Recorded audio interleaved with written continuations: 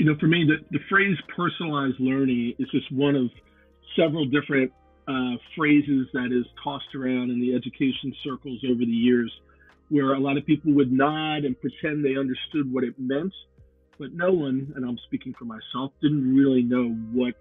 it really did mean. One of the many different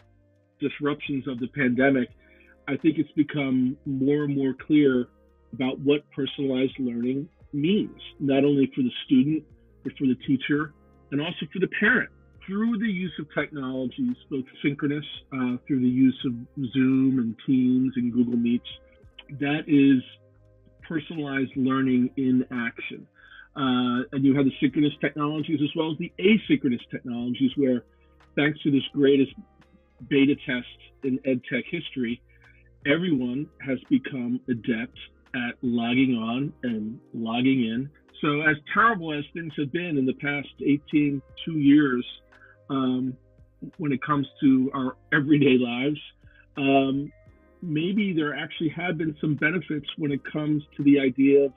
personalized learning and improving the way in which educators teach and students learn.